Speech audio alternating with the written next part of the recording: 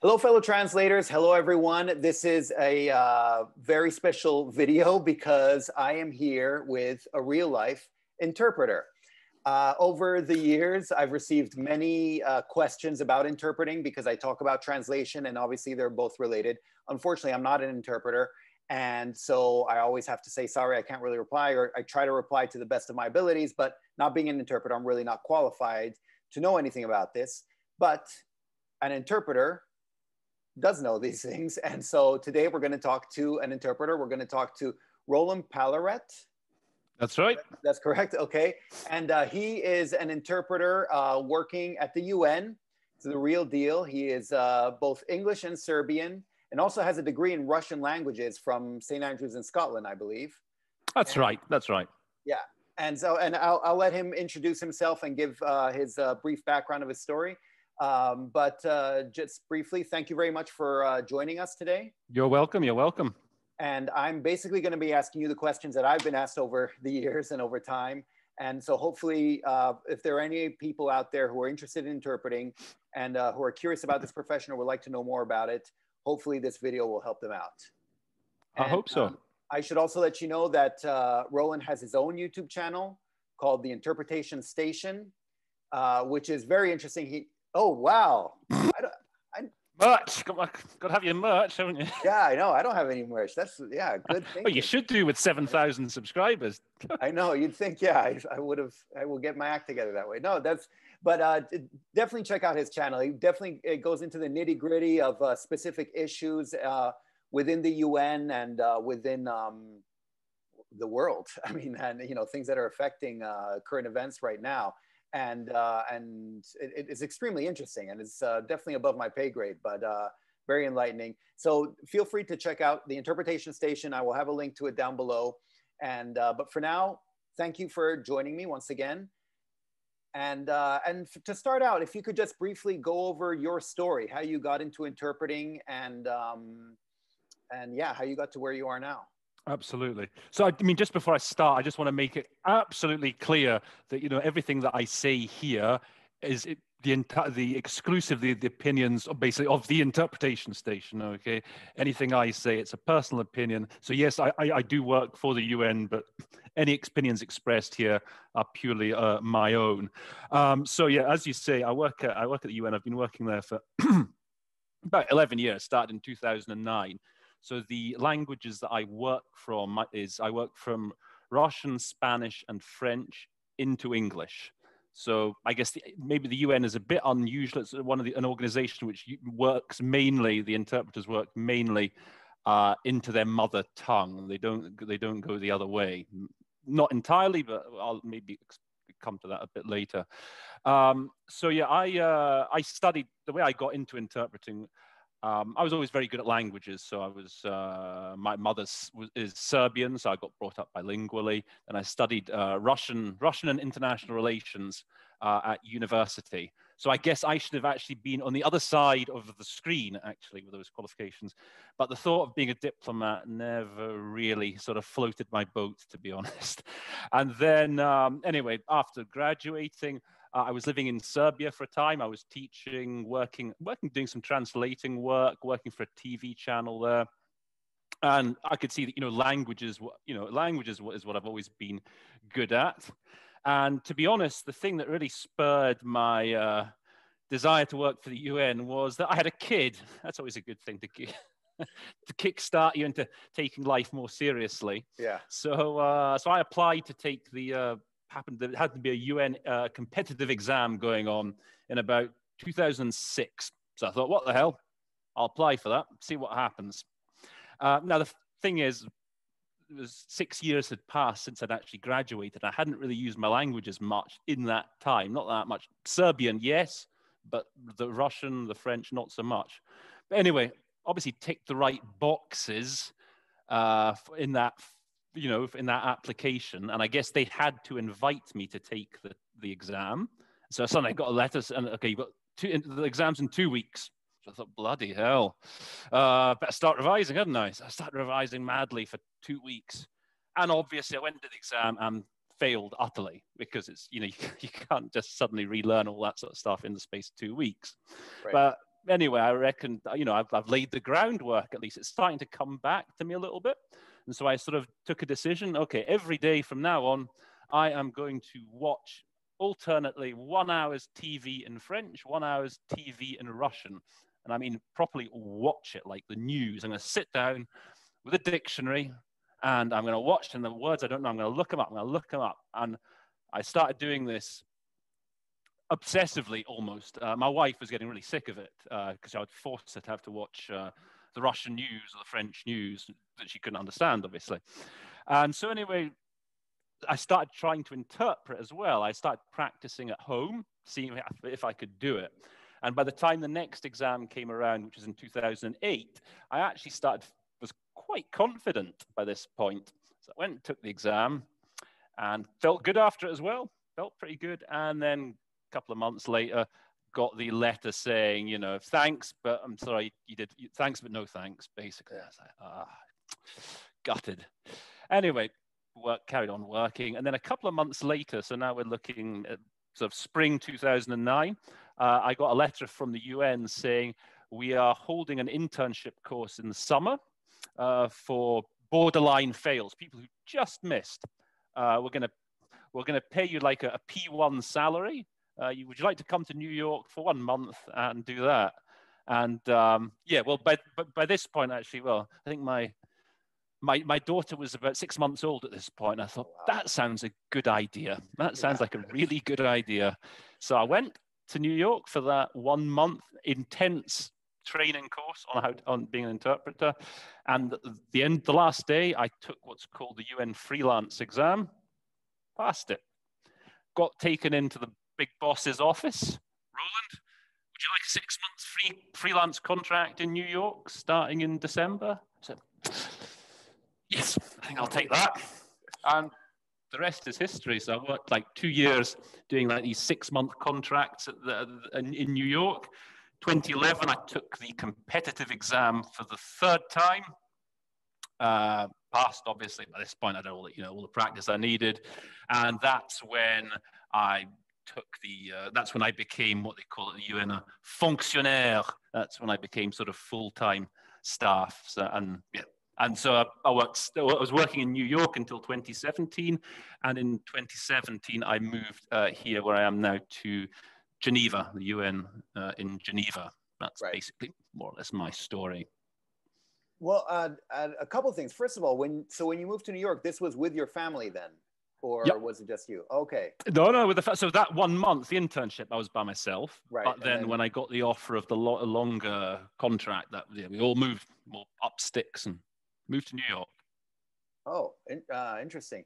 And uh, actually, I was curious also about the um, target and source languages because usually for translation, they tell us for written translations that we should write, uh, we should translate into our native language from you know whatever other language you learn into our native language. I'd always heard that often for interpreting, it's the opposite, but it seems like the UN that's how they operate as well. I'd say in uh, for the most part, it's what, they, what most organizations, companies is, is both ways. Right. But just the way that the UN uh, is structured, this is the way that I guess it seems to make most sense because you have so at the UN you've got six official languages. Okay, you've got English, French, Spanish, Russian, Chinese, and Arabic. So I think it was initially five. I think they added Arabic, I believe, uh, in the 1970s. It's like one of the only two times they've actually changed the UN Charter was to allow a new language, Arabic. I, I, if I'm not mistaken, they oh, don't oh, wow. change the charter very often, so it was to actually yeah. add the, allow the additional language. And so in uh, so in the English, French, Spanish, and Russian booths, you have this system. We go into our own language, and then you have the Chinese and Arabic booths. Uh, where they go both ways actually. Uh, so Chinese, oh, they can actually, so when I say go both ways, English Chinese or French Chinese, although there's only that's a there's a, there's a that's a rarity. Right. In the Arabic booth, it's much more common though, uh, either French into Arabic or English into Arabic. That makes sense. And but and so there they they will go in both directions in uh, for oh, Arabic and Chinese. Yes, they, go. In, so they're actually working the whole time. They're sort of on, on duty. They're working the the, the, the full uh, the full amount of time. So actually, they have. Whereas in our like in the four uh, European booths, I guess you'd say, there's just two of us working in a standard meeting. In the Arabic and Chinese booths, you've got three of them working because as I say, in our booths, we we're off, you know, we're not always on mic, but they are always on mic. And so they need a extra pair of hands or extra set of tonsils, if you like. Right. So, I mean, and why, why is this the case? Is this because they have few, fewer people in those languages and so they need to go both ways or? I think it probably is. I think it's a question of supply and supply and demand. It's just what, what makes most most sense i mean as i say with with the arabic it's a very strict thing that they need you know it's about 50 50 those going to french and and and, and english because of the sort of history of well, the middle east the arabic speaking world obviously had a big french influence uh, the lebanese and whatever whereas i don't know with the, with the chinese i guess you just don't have many i guess you just don't have many sort of europeans if you like whose chinese who are simply that good enough or whatever. Uh, and so, yeah, that's that's just how the way they work it. Yeah, it makes sense. No, it's the same for written translations. It's rare to be able to find people who can translate directly French or Italian or something like that into Chinese. And, and right, right. Um, okay, so for, uh, right now, I'd like to ask you some questions about interpreting in general and uh, and then later we'll get back to the UN specifically. But uh, because the questions, most of them I that have been, I mean, all the questions I've been receiving have been about interpreting in general. So mm-hmm. I'd like to mm-hmm. kind of get your uh, your opinion and uh, your viewpoint on uh, on some of these questions. Sure. Uh, so first of all, is interpreting becoming more remote? Obviously, we've had 2020 and yeah. where everything's been remote. But uh, do you see this as uh, a trend that is likely to stick or not? And I guess remote here could also mean people working from home or people going to a, an interpreter's booth and dealing with a meeting elsewhere or something, something along those lines. I think at certain levels, probably yes. Now that a lot of this technology has been introduced, I think it's inevitable that it's probably going to get used more. Um, I mean, do you want me? I mean, the, so I mean, for example, uh, at, the, at the UN, um, so they've had to use this, you know, as you know, while people are sort of in lockdown, while everyone's in confinement, yeah, that they have been using these platforms, you know, that you probably know them, Kudo, Interprefy, Interactio. Uh, that, yeah, what else is Zoom, WebEx, whatever. Right. So they, they don't really have much choice. Uh, for example, here in Geneva, we've been quite lucky actually. And so I still, I still go into work actually. I, I still go and I've been going into the to work since the summer, to be honest, since October, August or September. Um, there were at one point actually some meetings going on uh, in the in the in the rooms, uh, but at the moment, the, now, now it's virtually all the situation. The situation is where we're in the booths, but the meeting takes place on the platform.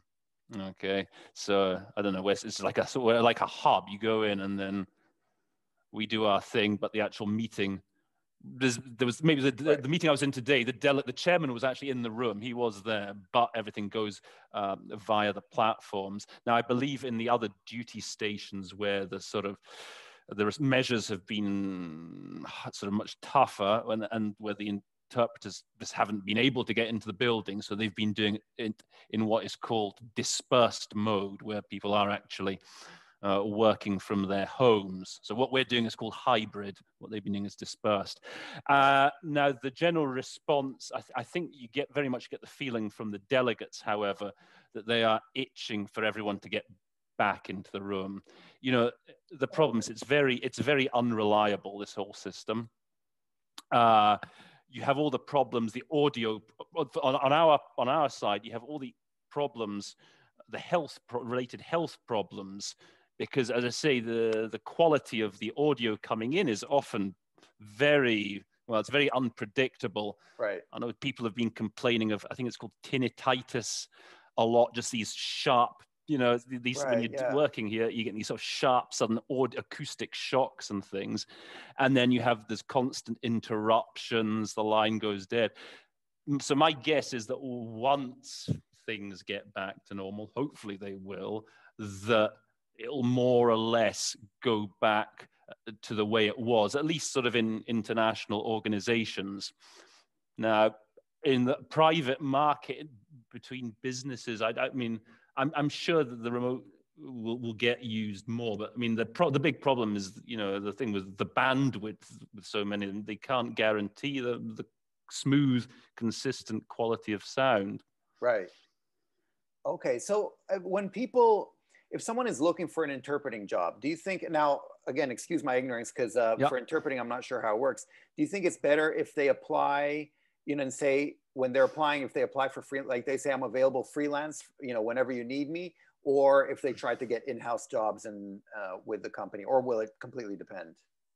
I mean, at this point, you just, I mean, I've, I've i did a bit of homework because I don't really know the freelance market that well because I pretty much just went straight into in-house, which right. is that's one of the quirks actually of of having Russian in your combination.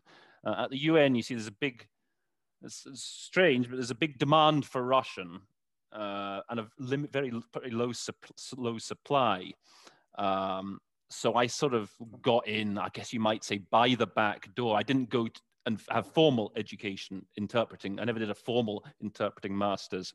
Um, but um, I think for the most part, at this point, you've got to accept anything you're given. So the freelancers I was talking with when doing my homework was, yeah, I mean, you just you just have to take whatever's going right now. Right. And, and actually, I mean, you're yeah, like. Uh-huh uh, at least for 2020 and then you know the, it's, it's pretty much the same for translation and it's unlikely you're going to just walk into an in-house post without some prior experience. Okay. Certainly in the in the mainstream yeah in the mainstream language combinations you know you need to sort of make your bones first before uh before you get in-house generally. Huh. Interesting. And so along those lines what are some qualifications or attributes that make a good interpreter? As in what what should if someone's interested in being an interpreter um, mm-hmm. what's something they should be working on right now so that they can be ready maybe not right away but in a year or two you know something they can work on mm-hmm. and improve mm-hmm. well i mean it's just it's just really practice practice practice. Um, that's that's why that's why I did. Just forcing, you know, starting off with watching. I was watching TV, right, and then in my head trying to interpret what the newsreader is saying, and just just constantly. Um, just trying to improve your language, you know, just trying to improve your widen your vocabulary. By the way, I mean the fact that you might sort of speak also two or three languages fluently doesn't automatically mean you're going to be a good interpreter, which is which is, right. might sound strange, but um, so there's a certain yeah, your brain has to be wired in a certain way to be actually able to to, to do that. Um, but I think you've just got to accept, you know, you've just got to take. Uh, so what, as I say, the people I was talking to is, you know, take all the jobs going, be it interpretation or translation, for example. Take up take translating jobs. You know, make your make your sort of name known, sort of net you've got a network and then you've got all these other sort of ex sort of qualities or attributes that you need uh, when you're interpreting you need to be very sort of adaptable you need to be resourceful with working with certain languages you need to have a very thick skin as well um, right. you need to make sure that you know you don't take things too much to heart um, yeah uh, i mean what i refer so some of the, the Russian delegations, for example, you, you often get monitored by certain delegations. And so they will correct, if they don't like something, they, they will correct you. Oh, wow. And the important thing is you don't take that personally. You just got to right. Keep on, you got to keep going. Um, so, yeah, that, that, that's, those are sort of attributes, let's say, that you need for to be an interpreter. Just practice, just you to keep just improving your quality. Okay. Uh, what about um, experience in translation? Would that help, or would that not change much? If, they, if I think I think it certainly helps because it expands your vocabulary. I mean, the impression I get is so I've done. I used to do translate. I used to do translating when I was in Serbia. I used to do translating. I used to do uh, proof proofreading. And the thing is, with translation, obviously you've got much more time to prepare a text, right. and you can use uh, much more, so we say, exotic vocabulary. You really you can give your, you know, you can think about exactly how you're going to reflect this um, idea. I mean, I, I remember translating. I translated a book when I was in Serbia. It was about the um, that was the longest, biggest project I had, and it was about the uh, the uprising in Belgrade in 1941 so, so, the, so Yugoslavia had signed a pact, you see, with the Germans. And then there were huge protests broke out uh, in the center of Belgrade, instigated, they say, probably by the British, I must. and uh, what happened? And then they overturned. Uh, what, what basically kicked the government? They, they, kicked the government out, and they kicked the royal family, the Yugoslav royal family, out. And so I was asked to uh, translate this book by um, so by the so there was a prince regent serving at the time in Serbia at that time. He was the main, he was the head of state. So this was his daughter actually uh, that had asked me to translate that book. Oh, wow. um, yeah. Uh, I, I, don't know if it ever got published in the end. I don't know, but I mean, I certainly remember. You, as I say, when you're translating a book, something like that, uh, it's called. It's yeah, you have much more time to think what you're going to say. It, it, was called "The Truth About the 27th of March." That that's what it was about. Okay. That was the date of that uprising. Whereas interpreting it's a bit different actually. In interpreting you're often you're looking for shortcuts to be honest. You're looking to reflect an idea in the short in the shortest amount of time possible using the fewest words possible 95 99% of the time. Oh interesting. Some, yeah yeah. So it's, it's a different skill. It's not it's a yeah it's i think maybe translators maybe they're I think translating, as I say, you maybe have a wider vocabulary that you can draw on, whereas we interpreters, we often just have to grab what's what's nearest, what's closest to hand, but just make sure the meaning is there. Right, and and I feel that's a big reason why I, I don't think I could be an interpreter for precisely that reason. Also, I'm not very good at thinking on my feet, and I like the the idea that I can try to perfect the text, you know, convey what yep. I want to convey in the way I want to convey it, and keep working on it as long as I need to well, yeah, obviously interpreting, you need to be able to do it on the fly. And, yeah. Uh, and yeah. That, that's what I try and teach. I mean, I don't know if I'm about to sort of plug my channel here, but that's actually what, um, if you go and see, watch my channel, any potential interpreters, that's what I try and teach the tricks. Or, you know, I teach, try and teach you how, how exactly to do that. Right. And uh, yeah, because it's uh, it it's definitely seems like yeah, a skill that to me at least seems quite daunting in a way to right. be able to do that. Um, so what are in, in terms of what an interpreter needs yeah so like these uh, qualifications and attributes help but are there other things like just in terms of say software? Uh, you know i I'm, I'm part of the board of the carolina association of translators and interpreters and i noticed you can always tell the interpreters because they like you have really good headsets and uh, and uh, microphones and i just have this. Um, but uh, you know is there are there certain things that an interpreter would need, or are these usually provided by an employer? Um, this, this, this is standard issue, to be honest. So this was I, I didn't have this. If actually, if you look at the first few episodes that I did, I, I was using earphones like yours, right. and then when in about December or November, then it looked there was like a real danger of it being fully locked down. So then they started to issue us with all the gear. Oh. Um, yeah, that, that's the only reason I, I use. I've got these the, the, these earphones. I think in general, the the employer will. I don't know. Will they provide? Actually, I, I suppose if you're on the freelance market, your probably your best bet is to make sure you've got your own gear in that respect. Earphones. Okay. Um, you want these ones. So apparently, I'm told that these have acoustic shock protection. Um, wow. That's like an when it comes to equipment. I mean, I don't know. Do you want me to say what make they are? I don't. I'm, oh, sure. I guess. Yeah. I don't. I mean, I mean they're, they're called Jabra. I mean, I think they chose those because if I think if you look up on uh, search on YouTube like uh, best mic for interpreting, the first search item comes up as Jabra. So probably someone just thought, all right, we'll get them then. Right. Um, so, but apparently, yeah, they've got acoustic shock protection, and uh, they, you have to have a built-in mic as well. That's the other crucial thing right, if you're going okay. to do one of these things. And an Ethernet connection, I believe, is also yeah. something that uh, you really need if you're going to be doing it from home. And is there any type of software, or, or do you just need to be able to see and hear, or is there are are there programs, or is there a type of software for interpreters?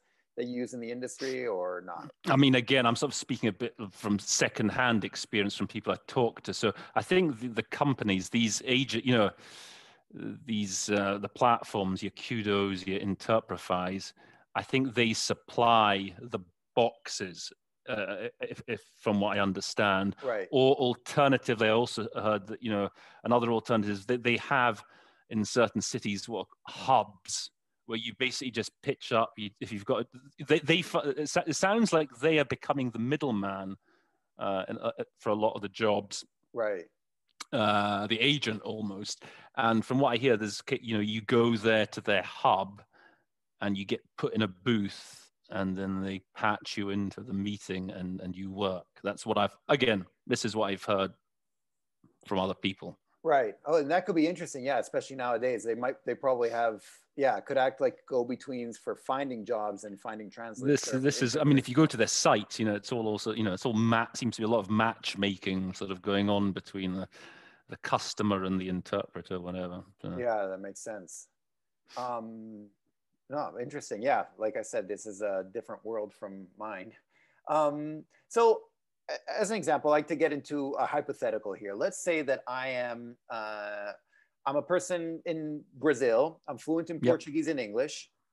I've interpreted uh, for friends. I've interpreted maybe for the job that I have or the school I'm in on an ad hoc basis. And uh, but I would like to start pursuing this as a real job um, and, and as a real career. What are some preliminary steps you would recommend taking at this point okay. in time? I practice, I assume, is one of them. That's the big one. I mean, right. one thing that people tend to say is that quality will out in the end. I mean, there's a lot of competition, but if you are really good at it, the chance, and if you keep taking the taking the jobs, accepting the jobs, that you will advance. Um, oh, but so yeah, if, like what sort of steps you can take? I guess it sort of varies from country to country, right? But so let's say in, in, in Britain, so you have what's called a, a diploma. Uh, it's called for public a, a, diploma of public service interpretation, uh, which is uh, like a state exam that, that, that you can go and take. And uh, with, if you pass that exam, uh, it's it's issued by the Institute of Linguists, apparently. Again, I'm again I'm telling what I've, I've, my research, right. my research, and that allows you to work uh, in the police, the courts, or the hospitals. Okay. Um, so, for example, if you're I don't know in, in the UK, uh, you could you, you, could do that, and then you could if you pass it, you can get some jobs, and then I believe it, with that sort of diploma, there's an equivalent one for translation as well. That's called a DPST, same thing, public service interpretation. I believe that you can go then to one of the universities, let's say, and uh, if you're over the age of 25 in Britain, you can uh, apply to be a, as a mature student. Okay, and that so that uh, that diploma sort of serves as your credentials. Okay, that you've you've passed that uh, state exam and that right. you have, I guess, got some potential to be an interpreter, and then you can, you know, get into one of the the universities and and uh, take that route. I'm told that in uh, in in America, I was uh, I had a colleague who was telling me um, the community interpreting, um, where you become. Apparently, there's there's there's, three levels. Uh, there's the community level, is the bottom level. The court interpreting is the sort of second level, and then you've got the top level is like conference interpreting. And so if you were to compare the levels involved it's a, it, to use a musical analogy so like the community interpreting is like rock and roll. So anyone could basically play rock and roll right? You don't have to be a great singer great musician. You can do rock and roll you know? Uh, the court interpreting is like jazz, where you do actually need to have some sort of proficiency, a bit of skill. And the conference interpreting is like the classical musician, which is really, you know, does require a lot of um, high level training. Um, so, I mean, that's what I know of in, in, the, in Britain and the UK. Now, I, I know in continental Europe, for example, the thing to become is like a sworn court interpreter or translator, um, which again, it's similar. I think you, you, take like a state, the sort of state uh, exam to try to try and get that um, diploma. But I think the main thing is, you know, if you want to do it, you just keep practicing and practicing and practicing and be willing be willing to accept anything that really comes your way and then Right. try and start taking those, uh, try and get your hands on those diplomas, I guess. Yeah. Okay. Yeah, and get those qualifications and Yeah. use those to uh, keep getting ahead. Cl- Make your way up the ladder. Yeah. And so, like these exams that are offered, at least in the in the UK, are they in pr- all the main language combinations, or I believe so. I mean, I think for loads of language combinations, because I think ob- obviously uh, at the lower levels, maybe you're working, there's lots of sort of immigrants going through the system, you know, through the hospitals and things. So I think there's a wide, there's a wide variety of lang- uh, languages involved. I seem to remember also once when I was in New York, just looking through for the New York State uh, community interpreter exams. I, you know, there's, there's a wide, wide uh, spectrum uh, of languages there. Um, yeah, Yeah. And, and then there's another thing actually, uh, another form of interpretation, chuchotage. I don't know if you've heard of chuchot, like the whis- you know, the whispering. Uh, in, that's that's like a court thing where where the no, defendant's being questioned and you're standing behind him, pretty much giving simultaneous whispering. Um, apparently, that's I'm told that is rather difficult. It's quite stressful. But, uh, yeah, so that's my impression. Actually, and I was going to ask this later, but let me ask this now. Uh, do you think it's um, should people, as, as far as I can tell, you have consecutive interpreting, simultaneous interpreting, and chuchotage. yeah. Uh, and should people be trying to specialize in because they seem they can be quite different, especially between consecutive and simultaneous. And yeah, I mean, I guess all three can be quite different. Should people be specializing in one, or usually you kind of end up where you end up, or how does it work? Well, the vast majority is simultaneous, actually. Oh, it is, The vast okay. majority. I mean, the consecutive is just sort of uh, here and there, and uh, I can't. I, I, I've never been. I've never done consecutive interpreting. I have to say, I've never been trained. If you trained in it, if you go to one of the schools, one of the universities, you get trained. You're part of your training as an interpreter is in consecutive. But uh, I, I have never actually done it, and uh, Oh, it does almost seem like a skill unto itself because apparently the, the you know the your, your consecutive interpreter can basically do a half hour stint. I was told. So you're basically taking notes for half an hour from the speaker, and then you just speak off from from those notes. It's I mean it sounds like an Oh, wow. interesting skill actually. Yeah. So as I say, I, I have never done it, but um, Oh, I didn't realize that. I always figured it was a, a sentence or two at a time, and then. this is what I thought until yesterday evening actually. Oh, I mean, I knew it was a bit more than a sentence at a Right. time, but I didn't realize that that bloody long. Yeah, oh wow. Yeah, that would take a considerable skill, I imagine. yeah, yeah. Uh, but the vast majority then is usually simultaneous. A vast majority is, simultaneous. Yeah, and this and this would be whether you're working in a corporate setting or in um any, anything yeah. international organizations. Yeah, exactly. yeah or courts or stuff like that Yeah. okay um okay I mean, I suppose that chuchotage is sort of like simultaneous, pretty much. right well okay and actually could we go a bit more so what is the difference between chuchotage and simultaneous i have sort of an Well, idea but it'd be better mhm. yeah if you could explain it i guess I mean, simultaneous is you're just in the booth. You're, you're just in a Right. booth in a conference, you know, with all the technology, the- everything, all the setup and things. Whereas the, I think the, the chuchotage, from what I gather, is you're, as I say, you're in court standing behind the defendant and you're just whispering, you know, whispering, saying, basically trans, interpreting what the judge is saying and having to deal with all the surrounding noise and things. Apparently, yes, it's, it's apparently not that easy. Um, Right. Simultaneous is just you, you're in the booth. okay yeah yeah my, my impression was exactly you're doing it just for this one person and it's Yeah, almost yeah. not off the record but yeah just private for Yeah. them right Yeah. Um, okay, and um, so now, so yeah, we've covered. And are while we're on this subject, actually, is um, are there any? How would I put this? Are there, are there any tips you would have? You know, to try to get ahead of the pack, try to get well known. Are there other things that can maybe help you stand out from the pack, or uh, that maybe can catch someone's eye in the interpreting world that maybe aren't as obvious to a beginner? Um, having a B language is always a good one. Oh, You know what? Do you, do you know what that I mean by that? uh, no. So Uh, like is having another so a language that you can interpret into, which isn't your native language. Right. Okay. Uh, And, so um, I- mean, uh, so So that you would can you go. have one of these? I Like don't Russian? actually know. Well, I have Serb- Serbian would you know Serbian would be my B language actually. Okay, okay. That's my sort of second language. But uh, for Russian, French, and Spanish for me, they're all, they're all C languages. So I can only interpret into English. Uh, French, I could probably do both ways, you know, but officially they're, they're C languages. So, so a B language is, uh, is one that you can work into even though it's not your mother tongue. And I'd say that that's a, that that will definitely give you a sort of leg up.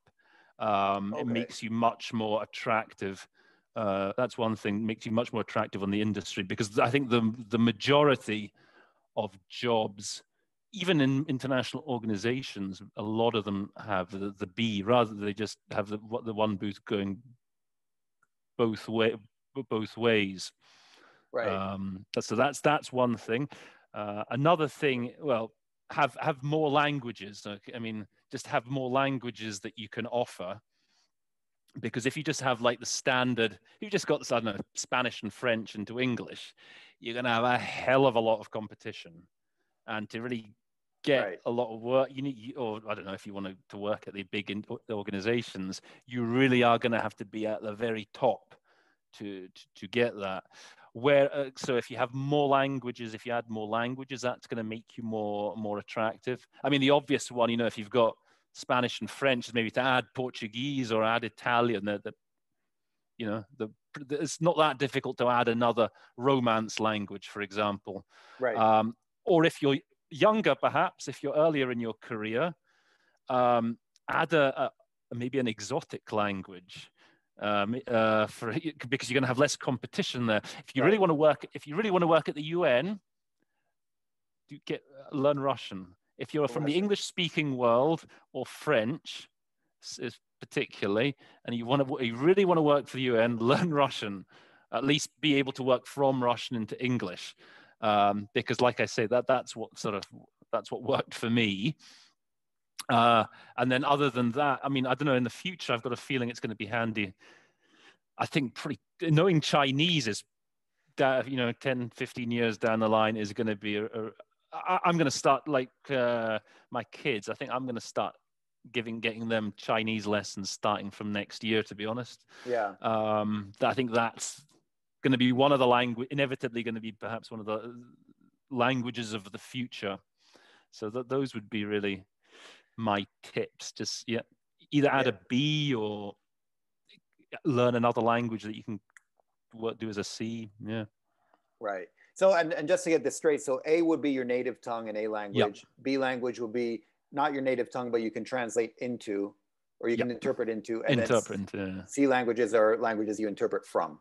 Right, exactly. And then you have lots of, to be honest, I get the feeling like in the States, like in New York, I think you must have a ton of what I call A minuses. You know, you hear on the, like on the subway, you have all the Latinos and things. Right. You hear them talking and they're sort of jabbering, they're jabbering away in English and then, pero, blah, blah, blah, in Yeah. Spanish, and then they swing back into English.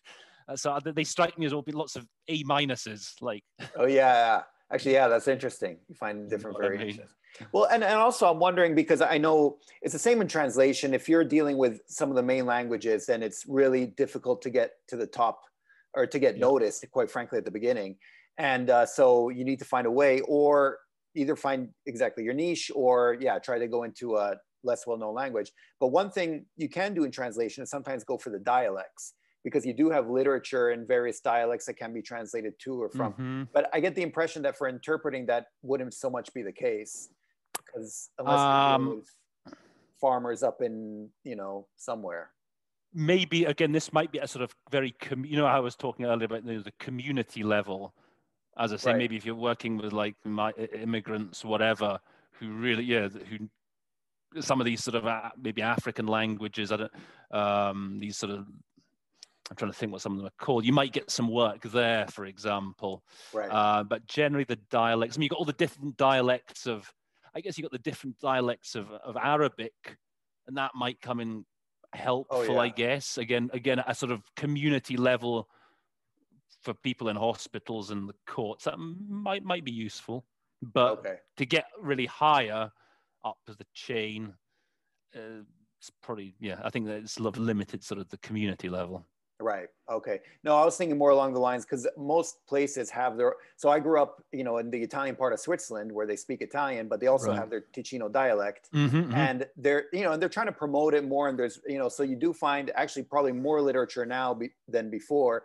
in this dialect, and so translating to and from this dialect is actually something that um, is prob, you know, you see a bit more of now than before. Mm. But I imagine interpreting that wouldn't be the case. At least Not really, because I mean, the translation is more. You, you've got there's more an arts focus, isn't there, in translation? People wanting these books or whatever Right. literature translated, whereas with the spoken word, it tends to be more a case of expediency Yeah. rather than art. Okay, yeah, exactly. That was my impression as well, and, and so yeah, that's kind of what I thought. Um, so, in terms of, you know, talking about the UN, let's say, uh, once again, if someone, because you you got there in a in a very interesting way. Um, uh, this is is there is there a typical way to get into the UN, or is um, does it really? If someone would let's what I'm trying to say is if someone is interested in joining the UN or organization similar to that, um, is there a standard way that they usually get there or does it, can it really depend? I'd say that it's pretty standard generally for the most part. You know, in each sort of region, there is sort of uh, a pyramid that you sort of climb up. You know, you get your, your undergraduate degree, for example, containing a, a language. And from there, from at that point, then you might think to yourself, all right, I'd like to be an interpreter or translator, whatever. And then you, uh, then you take the masters. And then once you've got the masters, then you've got, yeah, that's really is your ticket to ride. And at that point, you know, you, you can start accepting. It's very, it's unlikely that you would go immediately into uh, one of the big organizations, but you're going to start getting offers, hopefully.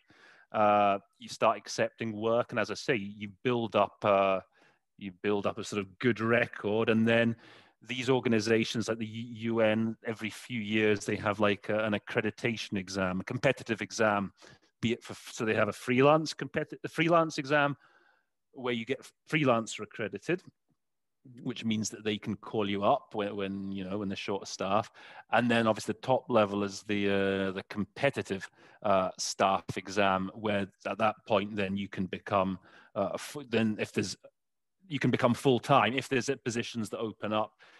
You're, in with a shot of getting that full time, and with the mainstream languages, that is very much the the standard way to go. You know, if you, as I say, if you've got like English and French into English, there's no other way really to to get in um, other than taking that sort of traditional path. And I think with the other, you know, for the, I think uh, with the, the the Arabic, I think it's the same. I think there's a uh, the say there's you know you have to go to the university and then you go to a sort of graduate school whatever and they're the sort of feeders for the international organizations. It's just there the there is the occasional sort of uh, exception like sort of like myself where you are able there are some you know there are pathways for certain uh, for certain languages right. Yeah. And because exactly your situation seems to be quite an exception. And so do you think they just, it, it was happenstance, like serendipity? You, they really needed someone with your skills and you happen to be there or does it just happen? randomly? Yeah, a, a bit. I mean, I'm not the only one who, who's got that. Who's got that Okay. in my. So I know other others at the UN working from Russian, where it's just that there bit. There's a bit more leeway for you, to be honest. There's a bit more leeway for you that if you know,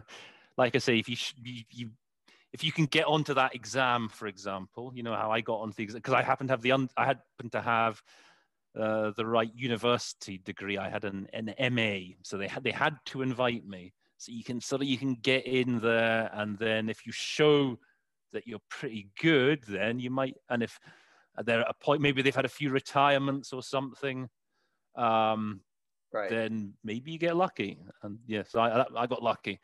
2009. Everyone else was going into recession, and I got lucky. So yeah. I mean, it, happens that way sometimes. yeah. But uh, sorry, that's in, so since you had an MA, they had to invite you. Yeah. Cause you mentioned Yeah. that before they had to, Yeah, invite you to- yeah. so anyone who has an MA has to get invited if they apply. I, I think that was the case. Yeah, I mean, because I think otherwise, then th- they're liable to be sued, perhaps, sued perhaps. is I I I I think, but you know, oh. if you oh. have all the things that are required, I mean, it's you know, it's a government. It's, the UN is a civil, you know, it's a oh right, a public sector organization. So you if they just sort of arbitrarily say, "Now we don't want this guy," even though you have, even though you meet, even though you tick all the boxes, I guess that would probably make the, you know you, they could be sued. So this is just not worth it doing that. You, they just let you come and take the exam, and then you know. Right, you, that makes sense. I, I, think I'm just too used to working for private corporations. Yeah, right. where you, you never know why or how they right decisions. That has, you need, um, yeah, they don't need to tell you why they don't want you. Yeah, right. it's, it's, with the international organization, yeah, they, they they have to sort of follow the rules. Um, so, and I, I need to ask this because uh, when I was in Korea, I met a guy who does interpreting for movie stars when they go to visit. And so he did interpreting for Brad Pitt, Angelina Jolie, and stuff like that. And that seemed quite interesting as well. If someone were interested in something like that, I mean, to your knowledge, would uh, is there anything specific they should be shooting for, or is there a specific way to get into that type of interpreting? I don't think that type of interpreting really exists as such. It's just, you know, whatever's going, whatever the agencies are, are offering. I think that's, I don't, I, I don't know of anyone myself who, who has had that, you know, sports interpreting. There's been, you know, I knew a guy who did work for FIFA and things, but again, FIFA's an, an international organization. Right. So, I mean, really, it's the choice. The choice in, in as a career, it's really between uh, do you want to work? Uh, do you want to be a staff interpreter or do you want to be a freelancer? That's the big decision. Right. Uh, because what you find is, again, it's not a decision I really had to take. Doesn't didn't really apply to me. But you'll find with with younger folk, so they come out of university with a degree. Often it's more attractive. You know, they're young, free, and single. You get to travel a lot. You get you know conferences in different countries. You get to see the world. You get to do a wide range of different meetings or at least you did. Yeah. and then uh, you know you build up your, your, your knowledge you build up your experience. Then people who are a bit older got families then obviously it's more perhaps more attractive to take the staff position. You, you're working more you work more as staff because you're full time but you obviously get benefits various sort of perks and things um, I think maybe the freelancers perhaps earn can earn more. Um, yeah, if you, I think you know if you really work, uh, you know, if you take everything that's going, you you can earn more. And as I say, you have the freedom. But yeah, if you're older, then you know if you're a staff interpreter, you get the pension and whatever other right. sort of perks. So I'd say yeah. that's really the choice: freelance versus staff. And is it easy or in, in, terms of what you've seen like is it easy to switch from say if you have a great career as a freelancer to become in-house or vice versa? It's very vice versa is very rare. Oh, so really? i mean with the, going freelance to staff is very common. I mean lots of my most of my colleagues did that. They started out freelance and then they got to a different stage in life they apply they did the accreditation exams whether for the UN or the EU whatever and then you hope you hope you get the invitation. Right. It's very rare to go for the other way. I know of one guy there is one guy who uh, who was a staff interpreter at the UN and he left just before I arrived in Geneva and he actually then he moved to De- think he moved to Denmark or something, and he became. So he, he worked as freelancer. He's he's the only example that I know of that that went the other way. Oh, interesting. Okay, no, because I'm wondering if some people might want to eventually be freelancer, but they'll say I'll work in house for now and then later switch to freelance. Um, just uh, because it gives me more freedom or something. But uh, I don't know if exactly it's unlikely. Because I think it's only because I think that guy was. I think because of his wife's job, it just she right. had a very good job as well, so it just made more sense to do it that way. But for the most part, you know, people want to become the staff interpreters because the security. I mean, especially yeah. like now, it's pretty these days, yeah, grim being a freelancer. I mean uh, I mean, I there's just not as much work on the market as the at the moment, and like being staffed now, it looks is very attractive. I mean, it's very. Uh, that's interesting because yeah, for translation, written translation, I'd say it's almost the opposite. I think well, I think things were already progressing toward more freelance uh, stuff, but you know, after 2020, pretty much everything is freelance now. And um, so, I mean, things have just been heading that direction, and uh, that's kind really, of what yeah. people are shooting for. Um, anyway, it's uh, so uh, actually, before we wrap it up, what are some things maybe because you said some things you know that can help you out. What are some things to watch out for or maybe red flags when when looking for interpreters or hiring them things you want to make sure you i guess don't have on your resume or you haven't done or i don't know? Or does anything you guess you've got to do your due diligence haven't you? You've got to check their credentials. I, it's it's much harder i think to pull a fast one perhaps as an interpreter than an, a translator I guess because a translator, I think, you know, you give a guy a job like a translation, he can always go and ask his dad or his mate, and he can maybe try and put something together that just about passes muster. Yeah. But an, an interpreter who's trying to pull a fast one, I think he's going to be found out pretty quickly right. on the job. You know, you can see pretty soon that the message isn't getting across. Well, I'm, I, I think what made me also think of that was uh, famously you had the um, the sign language interpreter. Uh, yeah, you, you, know, what, what I'm talking about. Mandela's yeah. funeral. Yeah, it was something. Yeah, like I mean, something big like that. Exactly. Yeah. I think it was Mandela's funeral. Yes, it was. There's always Africa. a few that squeeze through the cracks, and right. I, am pretty sure that was the case. Yeah. Yeah, and um, and he was just um, making it up as he was going along. I mean, that's crazy. I, and I guess obviously in common languages it's next to i mean i think in any language it's next to impossible but i guess yeah. maybe with the rarer ones but yeah someone um, didn't do their due diligence there right yeah sure. definitely um, so i mean that's pretty much it is there anything else you'd like to add to uh, you know for people who are interested in interpreting um, but just go to my channel and learn how to do it because um, yeah. the reason i mean the reason i started was from what i could tell was you, you have all these professions out there, right? And you can go on YouTube and you can pretty much learn you know, the basics of being a mechanic. You can learn the basics of being an accountant, being the whole lots of things. But for interpreting, I mean, there's lots of good sort of channels. I mean, but there's none that, as far as I could tell you, that that shows you. It's okay. This is what you actually have to do. This is how you interpret a text. This is how you break it down. Um, so that's what I'm. I, my aim is just to make the profession a bit more accessible to people, to give them the chance to, so that they can go and to YouTube search, okay, conference interpreting. So hopefully sometime soon, my channel will be at the top of the list and they can go to that and they right. can see, aha, that's what it involves. That's the sort of stuff that you need to do. Ah, that's it. So you don't need to actually translate every single word that the speaker says. You can just sort of you can sort of take these shortcuts and you can sometimes not even say some words at all. And so you don't need to, all those five adjectives that the speaker used, uh-huh.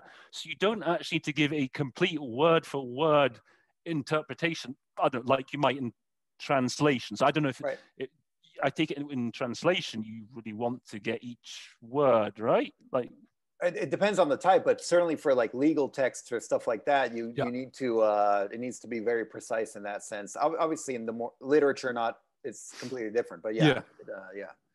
Um, so that's it. In interpretation, you have there's these tricks. There's the, the shortcuts and the you know the, the, the main thing is that you get that the meaning. It's all about the meaning that you get across uh, to the listener. That's that's the key. So yeah, that's that's what I hope my channel can do yeah, and, and once again, I'll link to it down below. It's the interpretation station.